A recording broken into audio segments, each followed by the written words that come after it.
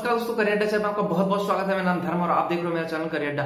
जो दोस्तों first time channel को देख रहे हैं, सब्सक्राइब कर लें और बेल आइकन को ज़रूर प्रेस करें ताकि नए वीडियो की नोटिफिकेशन आप लोगों को मिलती रहे।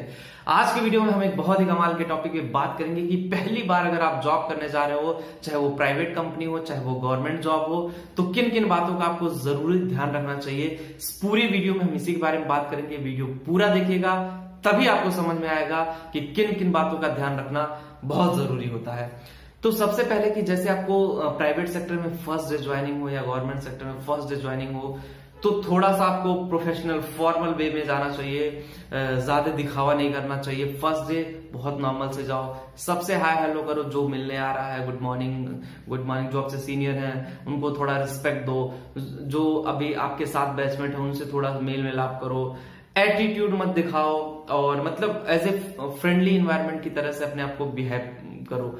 और कोई भी काम दे तो उसको ट्राई करो कि फ़र्स्ट डे जो काम उस दिन दे, उसी को सेम टाइम पे क्लियर कर दो मतलब कंप्लीट कर दो। उसके बाद ये होता है कि जैसे अगर आप इंडस्ट्री में जाते हो ना तो बहुत सारे एक चीज़ और होती है कि बहुत सारे लोग पॉलिटिक्स बाजी करते हैं। आपको, ये बहुत बड़ी चीज़ मैं आपको बताता हूँ कि जो इंडस्ट्री होती है ना, वो वहाँ पे बहुत ज़्यादा पॉलिटिक्स चलती है ऑफिशियल पॉलिटिक्स चलती है। ग्रुप बने होते हैं, एक ग्रुप कुछ और कहेगा, एक ग्रुप कुछ और कहेगा।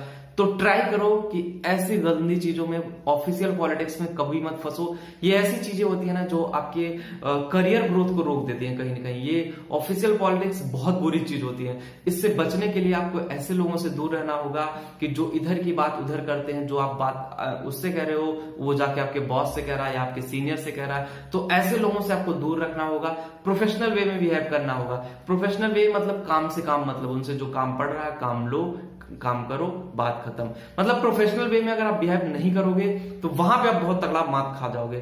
तीसरा है कि जो टाइम पे आना जाना ये बहुत बड़ा मैटर है कि हम लोग कुछ टाइम सोचते हैं कि ठीक है, आ रहे हैं, जा रहे हैं। टाइम पे आना जाना कहीं ना कहीं आपके जो परफॉर्मेंस होता है ना ऑफिशियल परफॉर्मेंस उसको इम्पैक्ट डालता है। तो टाइम पे आप आते जाते रहोगे तो भी सही रहता है बेस्ट रहता है आपके जॉब के लिए, आपके करियर के लिए। तो टाइम से आना जाना और एक चीज़ और है कि जब थोड़ा सा आप एक दो महीने जॉब कर लो तो समझ जाओ कौन सीनियर है, कौन जूनियर है, उसी अकॉर्डिंग उसको रिस्पेक्ट देना स्टार्ट कर दो कि ये नहीं कि फुली एटीट्यूड में आप भरे हुए कोई किसी से बात नहीं कर रहे हो रिस्पेक्ट नहीं दे रहे हो तो वहाँ पे कहीं ना कहीं थोड़ा सा आप लैक कर जाओगे, क्योंकि जब आपका इंक्रीमेंट आता है सैलरी इंक्रीमेंट होती है कंफर्मेशन होता है तो वो सीनियर ज़रूर इन्वॉल्व होता है आपके इंक्रीमेंट में, आपके करियर ग्रोथ में तो वहाँ पे आपको एज ए प्रोफेशनल वे में बिहेव करना पड़ेगा।